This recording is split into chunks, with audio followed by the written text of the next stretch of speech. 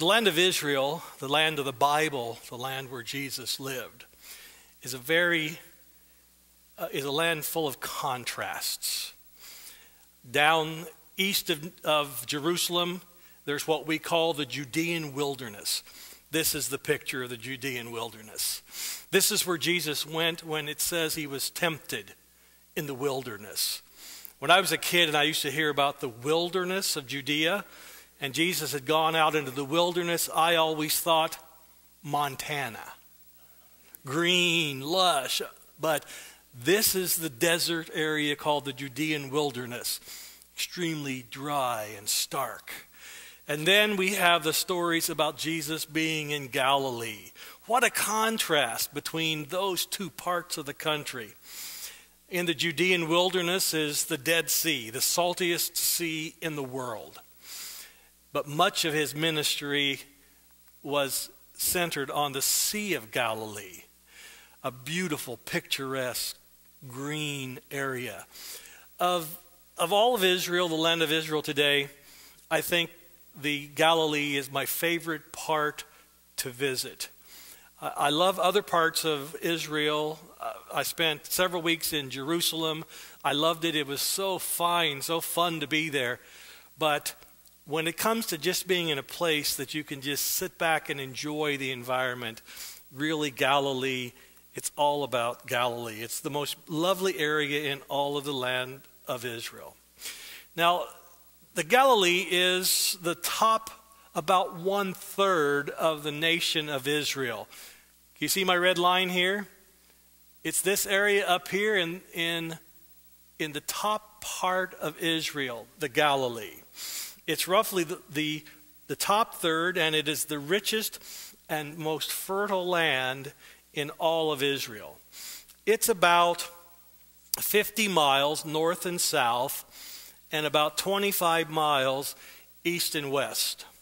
And something that I discovered in the times I've been in Israel is everything is much more compact than you think.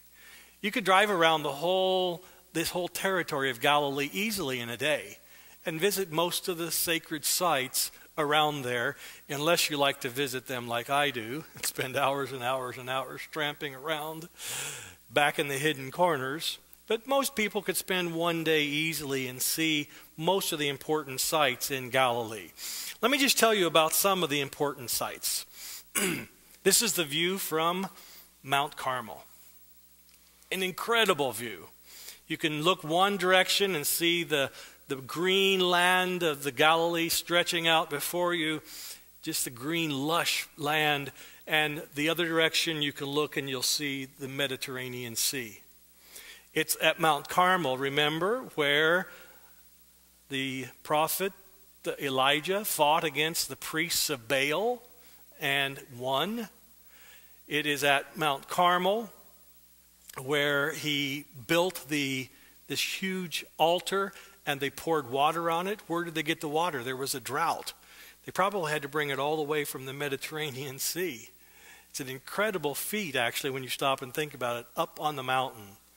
But they did it and brought it, and Elijah prevailed over the priests of, of Baal there. It's interesting, the day we were there, there were um, a, a, a large number of Pentecostal Koreans who were worshiping on the top of Mount Carmel that day. I was there for about a half an hour and um, kind of actually, I felt bad about it, but kind of had to push my way through the group of worshipers there because they were so entranced in their worship and their Pentecostal worship that they barely barely even knew we were there. And so uh, it was a very interesting experience to watch on the top of Mount Carmel. Nearby is also another very important ancient city, the city of Megiddo. Now, Megiddo is, a, is an ancient tell where Canaanites lived, where the Israelites lived, but it also has prophetic implications. At Megiddo is an incredible water system, a cave that they carved out so that they would ha- always have water in the city of Megiddo because Megiddo was a walled city, and the way they took walled cities was by siege. And so they wanted a water supply inside the city, and you can go down into, the, into this large water system. Archaeologists have been excavating at Megiddo for well over a hundred years. And the original plan was that they were going to excavate Megiddo from top to the bottom, every layer, the whole, the whole tell. And they probably actually today have, have uh, excavated maybe 15% of the tell. But some of the excavations go very, very deep. One of the most fascinating places they found was this large, round, they call it a bema or a high place. now, it's way down deep into the excavations now, but when it was used, it was, it was the high place, and the city built up over top of it and around it. Now, this is an interesting structure. It's a very ancient structure, probably dating to about 2000 BC. And it's at this structure that the Canaanites probably held sacrifice, and very likely human sacrifice, very likely the sacrifice of babies. And so it's, it's a very stark thing to see, to walk down in there. I didn't walk up on the, uh, up on the Bema because um, well, I'm not even sure I was supposed to be down in, down in there. But it's a very stark structure to see and to think about what happened around there. From the top of the tell of Megiddo, you can see again the, the lush green fields of Galilee. And it is at Megiddo and in, at these fields that many people think a special battle will happen. It's called the Battle of Har Megiddo in Revelation, the Battle of Armageddon. Now, I don't subscribe to the idea that this is going to be to this, the, the actual site of the Battle of Armageddon, as some people do. I believe the Battle of Armageddon will be a worldwide battle, and it won't be the um, it won't be the Arabs against the Israelis or the Russians against someone else. It will be the people who want to follow Satan against the people who want to follow God. Uh, some people think the final battle of Armageddon will be over oil in the Middle East. I got a question for you. Why does God need oil? I mean, does God care about oil? I don't think so. He cares about the hearts and souls of men and women. And so that's why I don't think the Battle of Armageddon is about oil. It's about us. It's about men and women, whether or not we'll follow him. Another, the, the, another site in Galilee is called Tel Dan. now, Tel Dan is the very northern tip of Israel. It's the northern extent of Israel in ancient times and basically today. And at Tel Dan, they found this very fascinating Bronze Age gate. And if you've been with me in this lecture series for a long time, you might have heard me talk about this inscription that was found at Tel Dan. This is an inscription that talks about the house of David.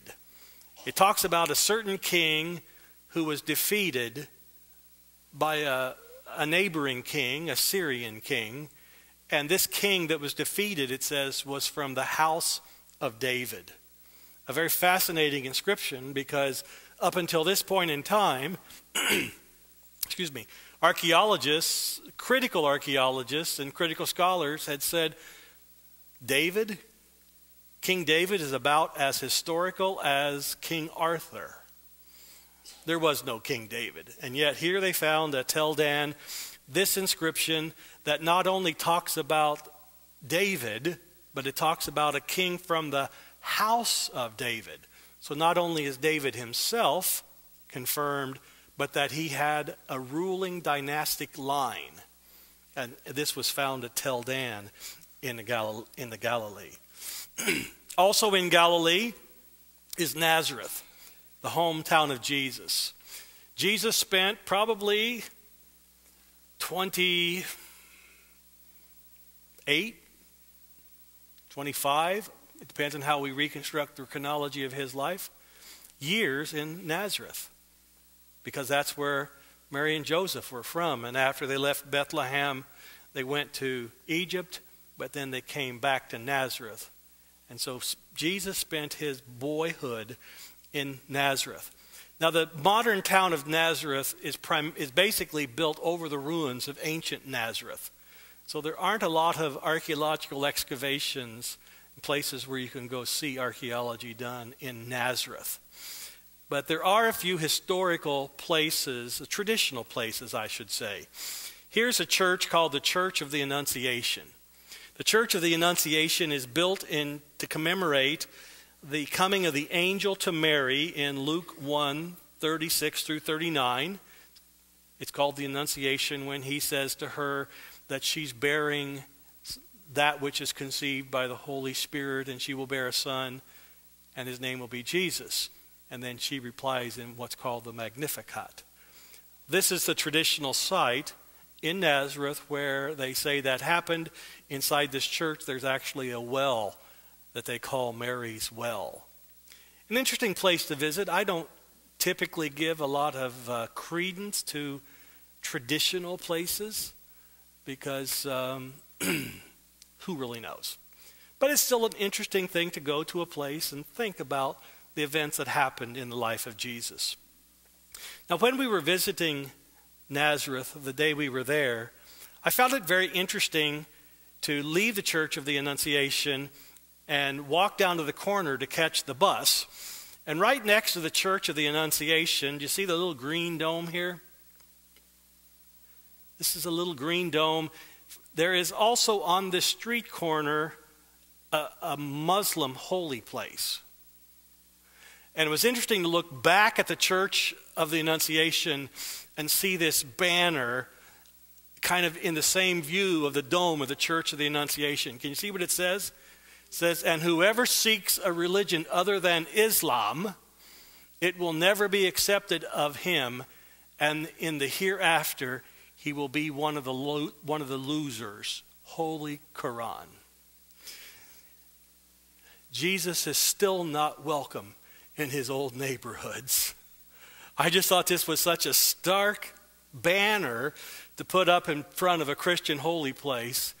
And I got to thinking, you know, if, if we went around as Christians, if we went around and put up banners in front of Muslim holy places, condemning it, condemning Islam, well, they wouldn't be very happy about it. And I just found it strange that here in the very birthplace of, not the birthplace, but the, the hometown of Jesus, that here is this, uh, here is this banner condemning and denouncing Christianity. You know, the old saying, a prophet is not welcome in his own country. And uh, Jesus is still not welcome because many of the people who live in Nazareth are Muslim.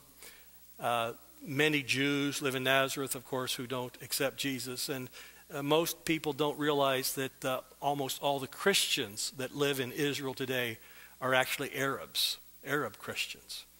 And so it's a very interesting place to visit. And thought I would show you this picture because it was just such a, a stark and in your face banner.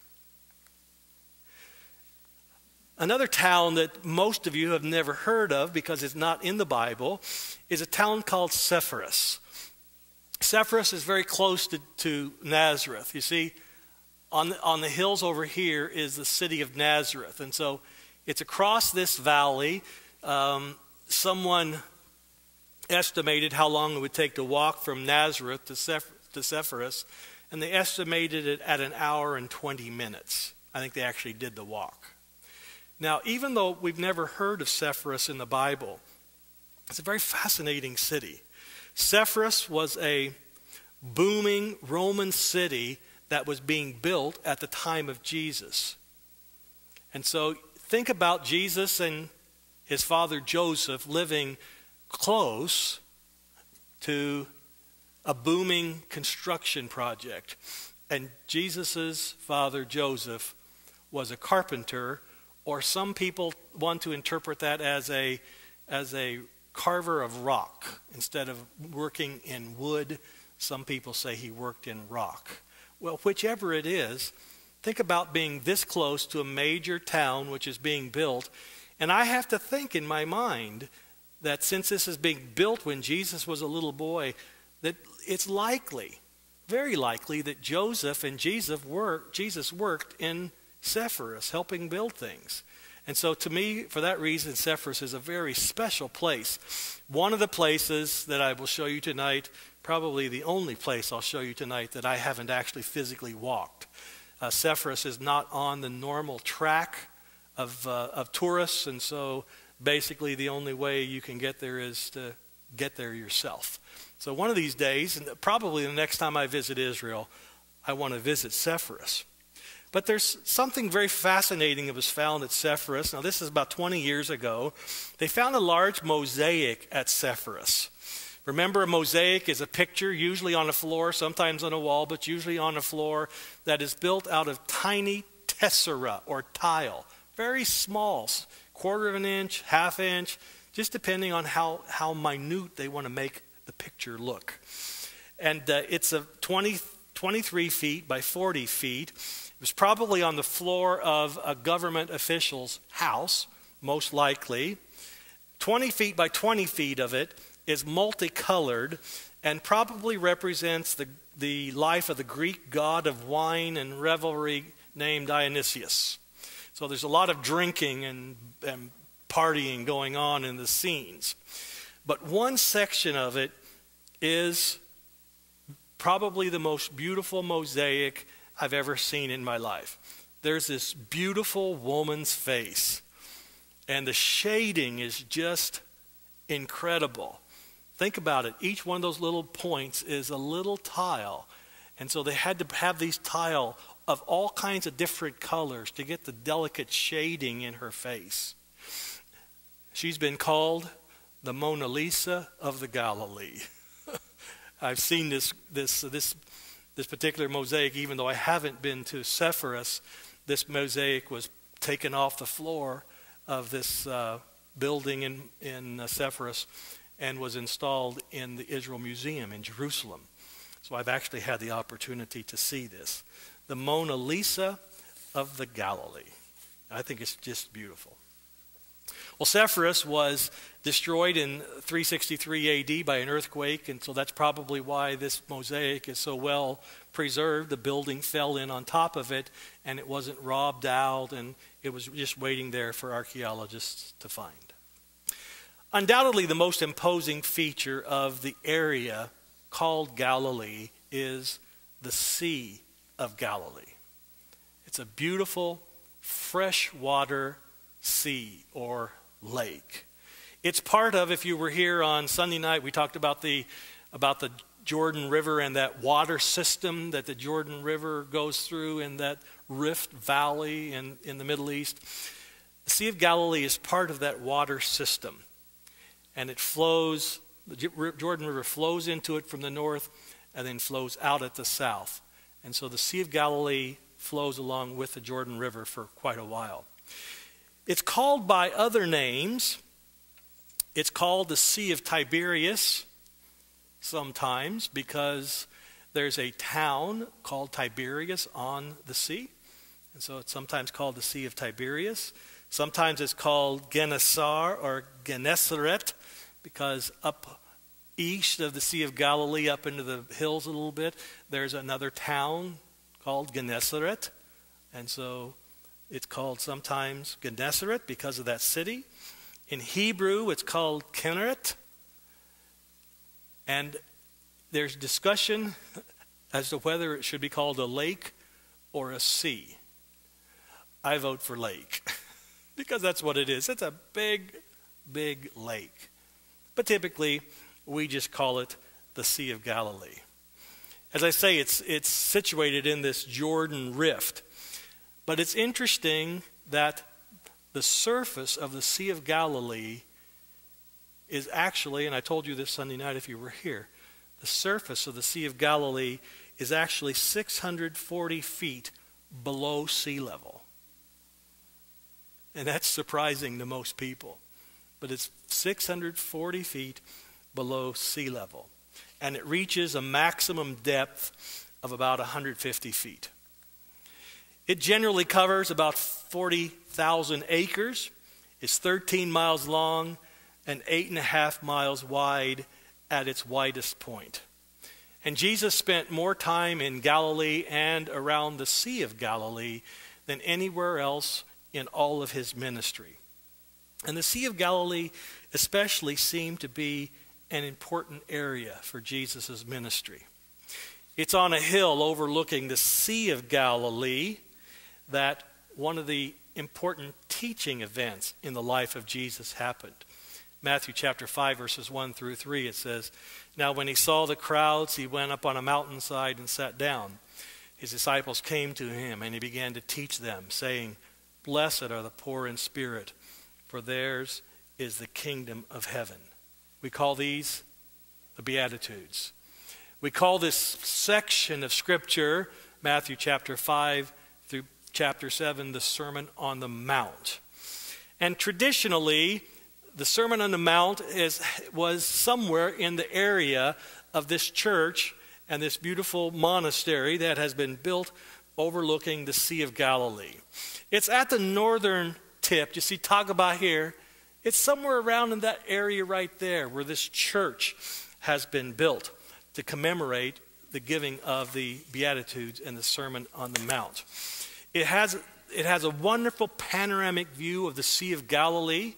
The church is very interesting. It was built in 1937 by, the, uh, by a person that you would not think would be going around building churches. His name was Mussolini, believe it or not who built this beautiful church overlooking the Sea of Galilee. Now, if the Sermon on the Mount did not actually happen in this exact spot, on these exact geographical square yards, it certainly happened in a place like it. And so it's nice to be on the top of this mountain overlooking the Sea of Galilee and think about the things Jesus said in the Sermon on the Mount. And then to remember, he said this at the end of the Sermon on the Mount. He said, Therefore, everyone who hears these words of mine and puts them into practice is like a wise man who built his house on the rock. The rain came down, the streams rose, and the winds blew and beat against that house. Yet it did not fall because it had its foundation on the rock. And then he continues, But everyone who hears these words of mine and does not put them into practice is like a foolish man who built his house on the sand. The rain came, the streams rose, and the winds blew and beat against that house, and it fell with a great crash. You know the song, right? The wise man built his house upon the rock. Jesus says, if you listen to him and you put his words into practice, you won't fall. But if you listen to him, but you don't put his words into practice, you'll fall. And I think the principle is still very, very true today. Nearby, the, the, the, the uh, church of the Beatitudes, the church on the top of the mountain, you go down into the towards the Sea of Galilee itself. There's another church at the foot of the Mountain of Beatitudes, which is the traditional site of the story of the loaves and fishes. You might remember the story. Let me just remind you Matthew 14, 16 through 21. It says, Jesus replied, uh, They do not need to go away. You have something to eat. Remember, they had been listening to Jesus all day, and his disciples said, These guys are getting hungry. Better let them go in town. So Jesus says, you don't, They don't need to go away. You give them something to eat. And the reply was, We have here only five loaves of bread and two fish, they answered. Bring them to me, he said. Taking the five loaves and the two fish and looking up to heaven, he gave thanks and broke the loaves. Then he gave them to the disciples, and the disciples gave them to the people. They all ate and were satisfied. And the disciples picked up twelve basketfuls, basketfuls of broken pieces that were left over. The number of those who ate was about 5,000 men, besides women and children. An incredible event. There are, you know, there are four gospels in the Bible Matthew, Mark, Luke, and John. Matthew, Mark, and Luke oftentimes record the same stories. John's a very different gospel. But this story is so important. It's one of the few stories that are actually recorded in all four Gospels. That's very significant. It was a very significant time and a very significant thing that Jesus did this feeding of the 5,000. And so there is a church, as there is for every event that happened in the life of Jesus. There is a church to commemorate the multiplication of the loaves and fishes. This is the church of the multiplication. It has, from the third century AD, it has remnants of a very ancient church, I should say fourth century AD, somewhere around 350. A church was built on this site, and the floor is again covered with a beautiful mosaic. Uh, most of the pictures are of, of nature scenes. But my favorite part of the mosaic is right under the altar. There's a piece of bedrock that comes up. They built a modern altar over it. But right in front of the altar, probably right by that bedrock, is a beautiful mosaic dating to about 350 AD. And it's a picture of the two fishes and the loaves to commemorate the multiplication of the little boy's lunch and the feeding of the 5,000. It's interesting to see that the you see the loaves are in here. They look very much, uh, they're just round pieces of bread, very, look very much like the, like the Roman Catholic host that the Roman Catholics eat for, for the bread. And so you can see four loaves in here. I don't know where the other one went, but it's interesting. You see the cross on the loaf, very interesting. And then you have the two fish. And this commemorates the multiplication. Of all the mosaics I've seen in, in Israel and in Jordan, this is my very favorite of all time. Even though it's not the most beautiful, to me it's the most touching. To think that somewhere around here, Jesus took a little boy's lunch and fed 5,000. And to be at this spot and see this beautiful mosaic, it's a very touching thing to me. This church, we know, has been on this site since about 350 AD. It's actually spoken of by a woman named Egeria. Egeria was a Christian pilgrim who was traveling in the Holy Land 381 to 384 AD. And she wrote a book about her travels in the Holy Lands called Travels to the Holy Land. And she, uh, she writes about being in this church. And so we know it's been there from ancient times.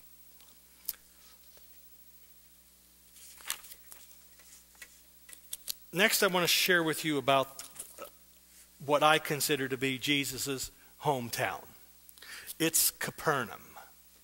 Capernaum is on the northwest corner of the Sea of Galilee and says this in Matthew 4:13, leaving Nazareth he went and lived in Capernaum which was by the lake in the area of Zebulun and Naphtali.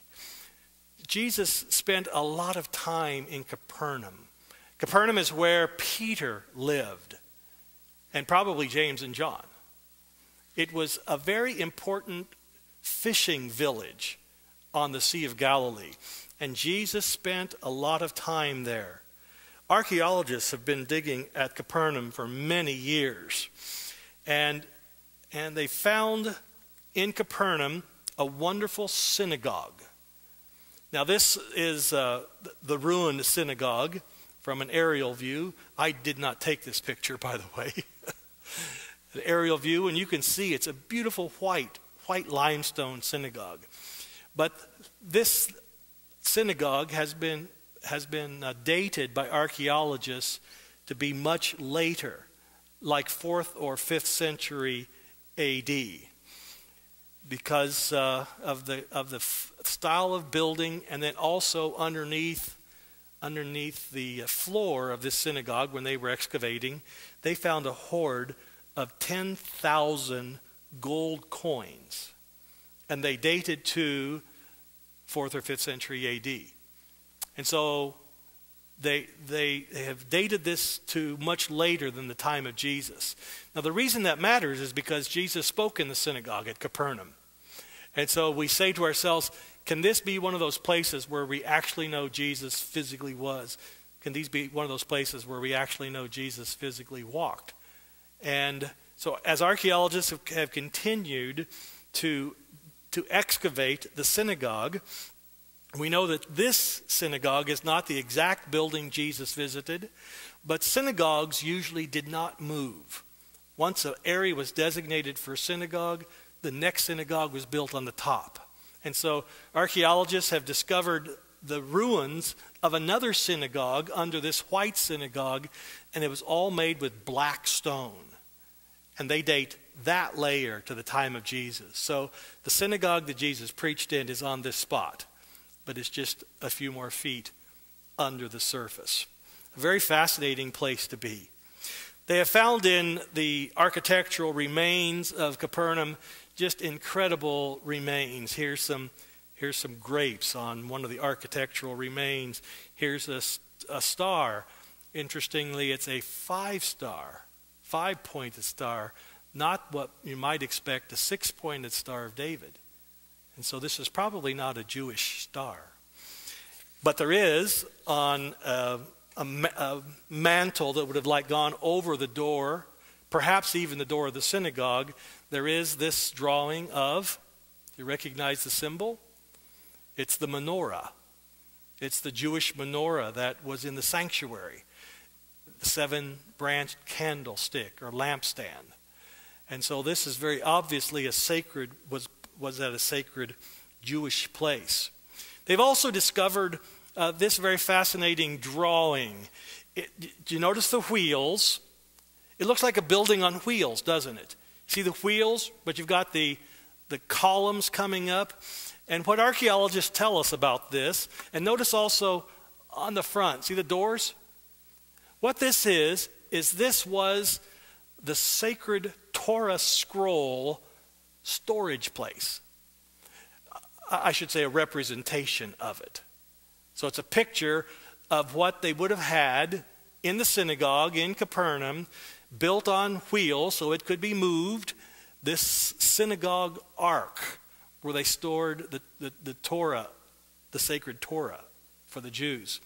Now remember that in the Old Testament, in the most holy place, there had been another ark, the Ark of the Covenant. But when the Babylonians captured Jerusalem in about 605 BC, the, the Ark of the Covenant was lost. And so to take its place, as a special place for the Torah, they began building these Torah arks. And we have a very fascinating representation of that here in Capernaum. Also in Capernaum, Franciscan archaeologists discovered a very fascinating building just south of the synagogue. Franciscan being Roman Catholic monks who were digging at Capernaum, did a lot of work at Capernaum when they, can, when they were digging there at near the, near the synagogue, they found a very interesting octagonal structure. And it's kind of three concentric circles. Can you see it? The inner circle, another circle, and then a larger circle on the outside. As they continued to excavate, they found that the central octagon had been built over a private home in the first century AD. And they identified this structure as the remains of an ancient church. And so at some point in time, it had been a private home, first century AD. They'd come and built a church on top of those remains, and then built a larger church around those remains. And so the evidence is good that in about AD 50 it ceased to be used a, as a house and started to be used for worship. There were walls plastered on the inner, on the inner walls of this structure, and um, the, the, the, the, the plaster has Christian graffiti scratched into the plaster.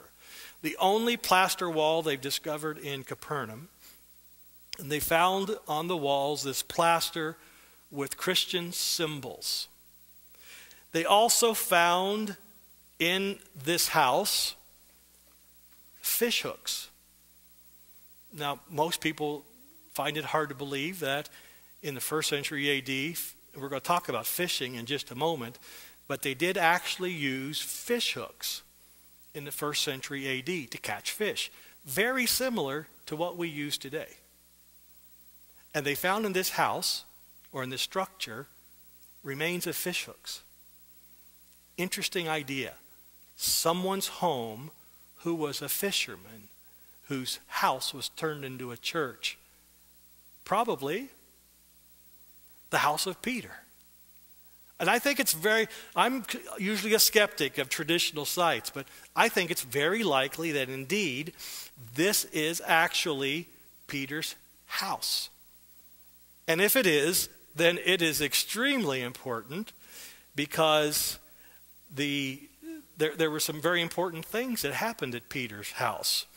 And so, is it Peter's house? There's no way to be sure, but it, there's certainly a very ancient tradition that this was probably Peter's house.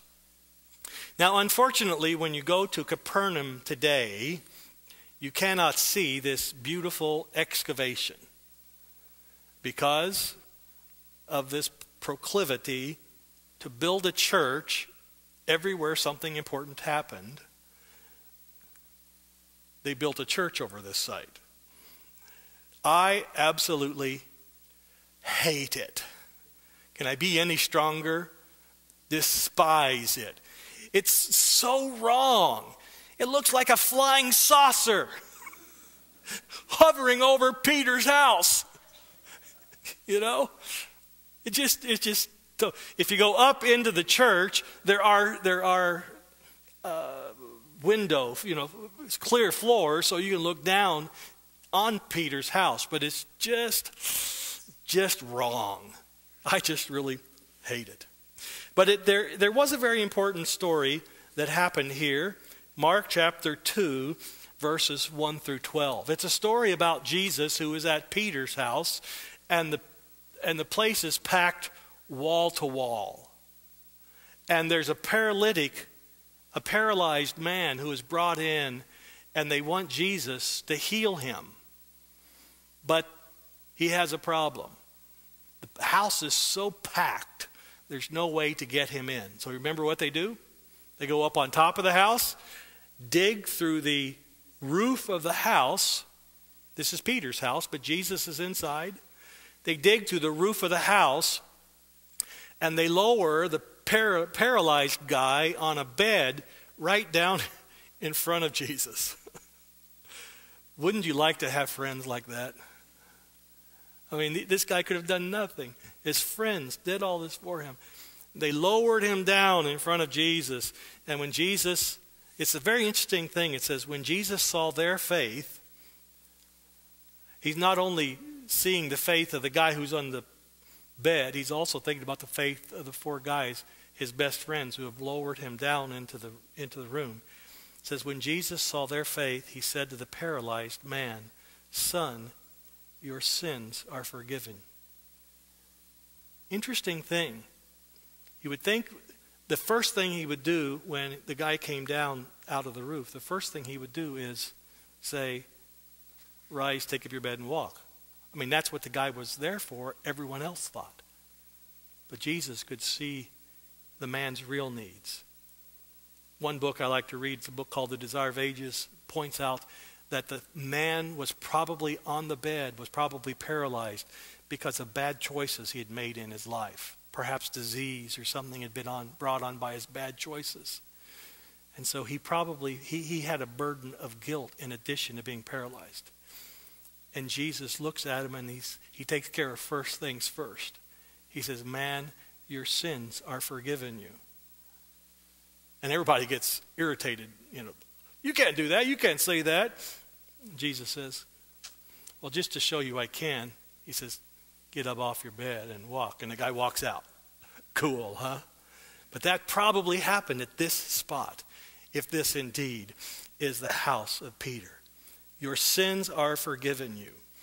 I love this text in 1 John 1 9. Jesus wants all of you to know that too. And this is a text that means something to us. He says, If we confess our sins, He is faithful and just and will forgive us of our sins and, and purify us from all unrighteousness. forgiving of sin was not just something that happened 2,000 years ago, it also happens today. And if you have sins in your life that need to be confessed, Jesus is still a sin forgiving Savior. And I hope that you'll do something about that in your life if you still have sins you need to confess. Well, fishing is one of the major activities that happens on the Sea of Galilee. As a matter of fact, I should have counted before. I think four of Jesus' disciples were fishermen from the area around Capernaum. Well, yeah, Peter, I actually have it in here. Peter, Andrew, James, and John. They were all fishermen when Jesus called them to be fishers of men instead of fishers of fish. In uh, Matthew 4 18 through 22, it puts it like this As Jesus was walking beside the Sea of Galilee, he saw two brothers, Simon called Peter and his brother Andrew. They were casting a net into the lake, for they were fishermen. Come, follow me, Jesus said, and I will send you out to fish for people. At once they left their nets and followed him. Going on from there, he saw two other brothers, James, the son of Zebedee, and his brother John. They were in a boat with their father Zebedee, preparing their nets. Jesus called them, and immediately they left the boat and their father and followed him. So some of Jesus' key disciples were fishermen. And so it's fascinating to see what ancient fishing might have looked like. In a few years ago, now this is uh, from 1993, but there was a very interesting article from one of my favorite magazines, Biblical Archaeology Review, that I have I've been getting ever since I left seminary. I have in my office here. I have uh, 30. Is that right? No, I have about 40 years of no, about 30 years of Biblical Archaeology Review on my on my shelf in there. They did this interesting article a few years this back in 1993 about fishing on the Sea of Galilee. they told in this article that there are basically three kinds of fish that are fished for in the Sea of Galilee. One is called a barbel. I can just imagine catching that kind of fish when I was his age. Well, when I was his age, my dad and I went fishing almost every night. So I could imagine I never caught a fish that big, but I can imagine how exciting it would have been. This is a barbel. It's a large fish, and it's primarily caught with a hook and a line. And as I said earlier on, there were fish hooks in the first century. That would feed you for a little while.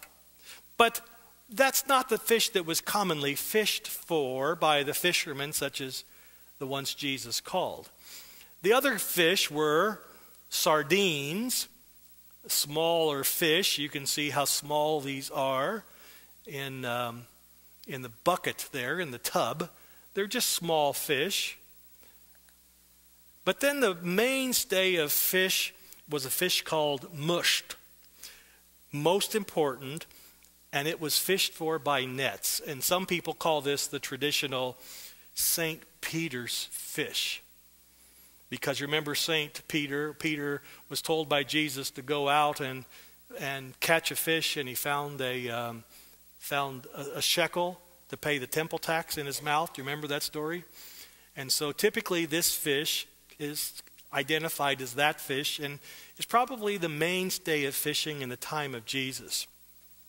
Uh, so when you go to Israel and you're up by the Sea of Galilee, um, there are all these restaurants that serve this fish, St. Peter's fish. When I was there a couple years ago, even though I'm vegetarian, I thought to myself, I'm in Israel, I'm by the Sea of Galilee. I'm in a restaurant where they specialize in St. Peter's fish. I ought to just do it. I got in, got sat down, and realized that they, they serve them like this. I mean, they just grill them and, and uh, they scale them, but they just grill them, and the eyes are still there, and the fins are still there, and the, the tail is still there. And when they came to me, I said, uh, I'll have the salad bar. just could not bring myself to do it. I'm sorry. I haven't eaten fish for probably 30 years, so I just couldn't do it. But it's interesting that when they have a large table of people, they always put money in one of the fish's mouth. Not everybody's mouth, but they put money in one of the fish's mouth. The guy I was sitting to, I don't know why I'm telling you this story, but the guy I was sitting next to was a Korean man, and he knew how to eat fish. He ate every fin, every, every, all, the whole tail, and he chewed off all the skin off the head. And I'm sitting there next to him, being real glad I didn't order a fish. Don't know that I could have done that. St. Peter's fish. Now, there are various ways in the time of Jesus of catching fish, particularly the St. Peter's fish. One is, one is called, there you see, could you eat that looking at you like that? I mean, he's staring at me. One of the ways of fishing for this fish is, is seine, the seine net. S E I N E, the seine. Basically, what it is, it's a huge net that the boat goes out and drops around in a circle with the with the ropes on either end of the of the of the net. The bottom is uh, has um, um, weights that push it down to the bottom. The uh, top has like something that will float, and so basically it becomes a wall in the water and the people stand on the shore. They still fish like this. They stand on the shore and they pull in the same, the seine net, and it gets everything in its way. Every single fish, everything that's not a fish, it, it catches everything in its way. One way of fishing, the seine. It says, um, according to the article I read, it said a good catch can bring a few hundred pounds of fish. A second way of fishing is uh, probably the one we most often think of. It's a casting net. It's a circular net, can be 20 to 25 feet across. It's tossed into the water and then falls. It has weights on the end. It falls down to the bottom and catches what is with, ever within the diameter of the net. And then you have to go down either take the fish out by hand or gather the bottom of the, uh, of the net up and pull it up and, and see what you have caught. Um, uh, doesn't seem to be an extremely efficient way, and if the fish see it coming, they can scatter and get away. Probably the one that was used most in the time of Jesus is one that's called the trammel net. This is, this is fishing at night. And remember, many times, Jesus' disciples, if you read the stories, they've been out fishing all night, and, and the two times we hear them talk about that, they haven't caught a thing. Remember that? They haven't caught a thing. And so this net was used to uh, push over the, the boat. It was put into the water. Again, it has a weight on the bottom, and so it kind of stands up in the water as a wall. And there were actually like three, like three layers of the net. One uh, quite, quite large, the hole's quite large, a little bit smaller, and then smaller. So three layers of netting, and when the fish swam in, they could not get out. And so that's why it had to be at night. And so then in the morning they would pull the net in and um, they would have the catch.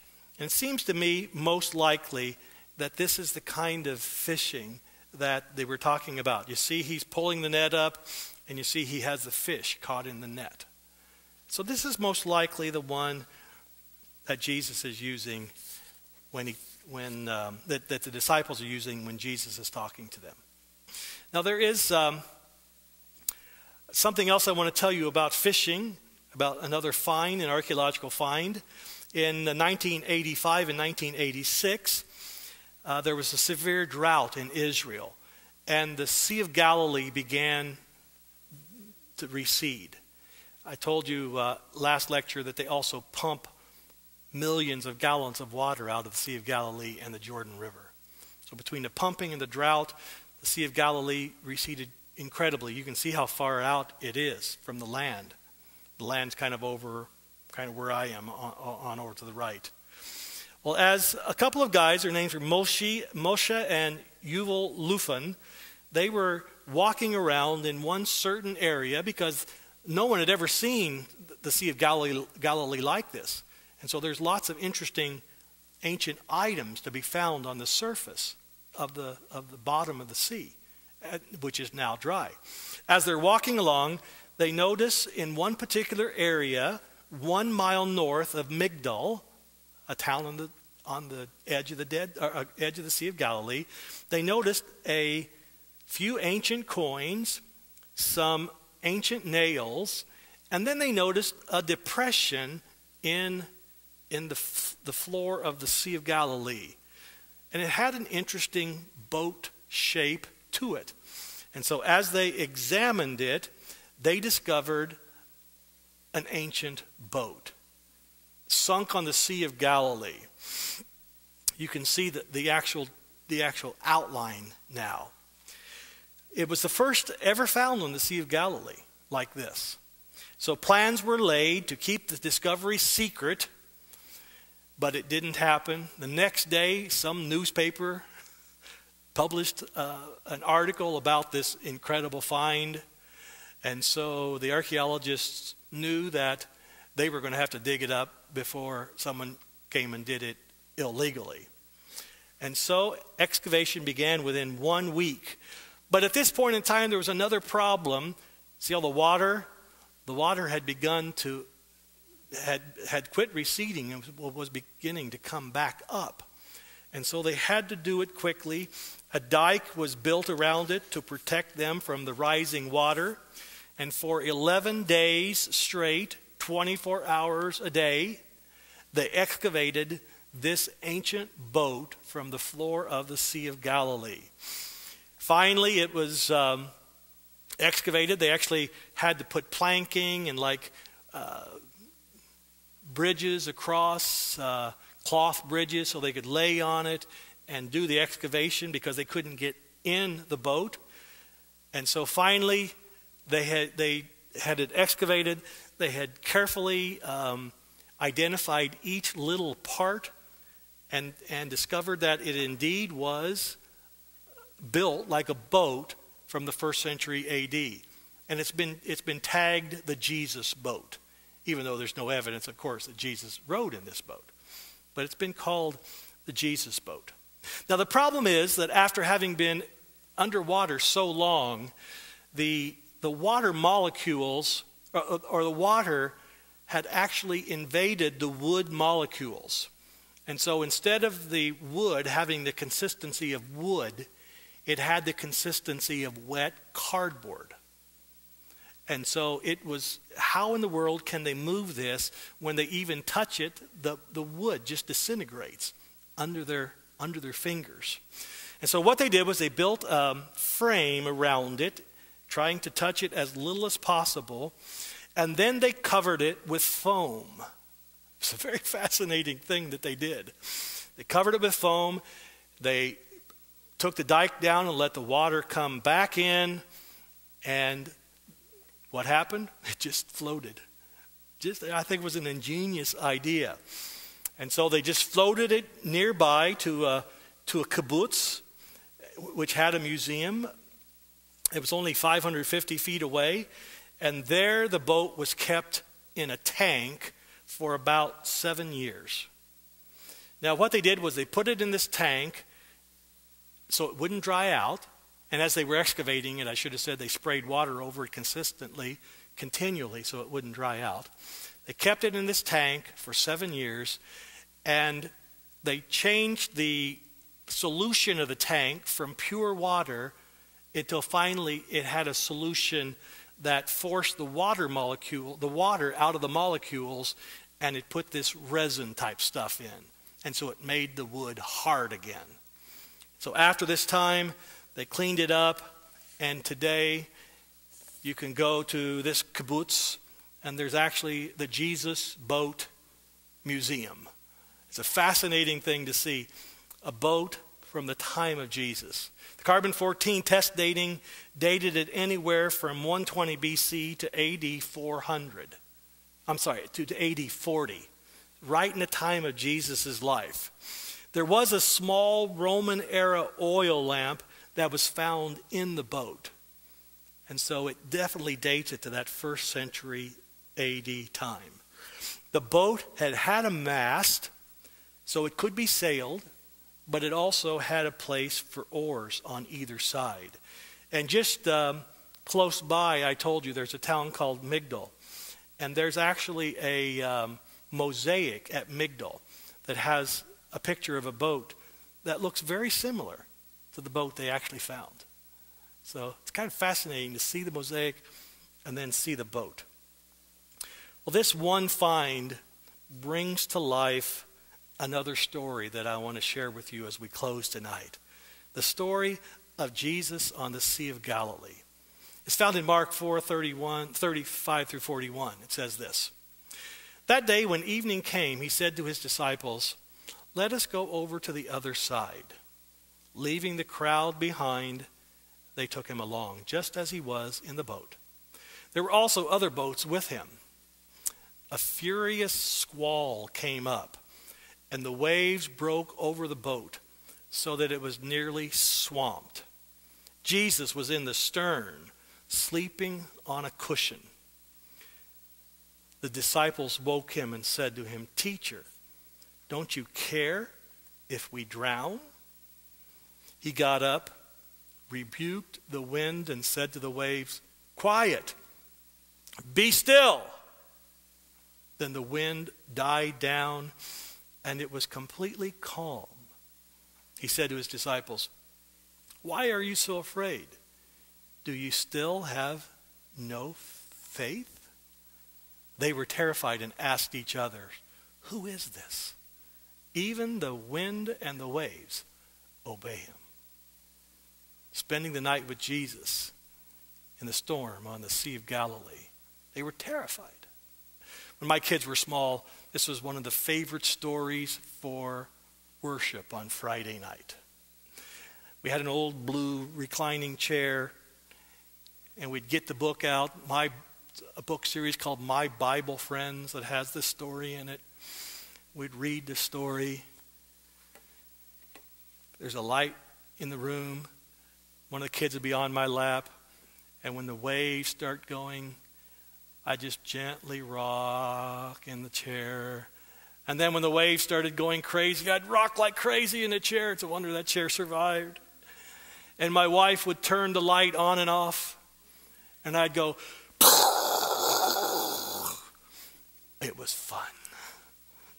You always know how it's going to end. We loved this story.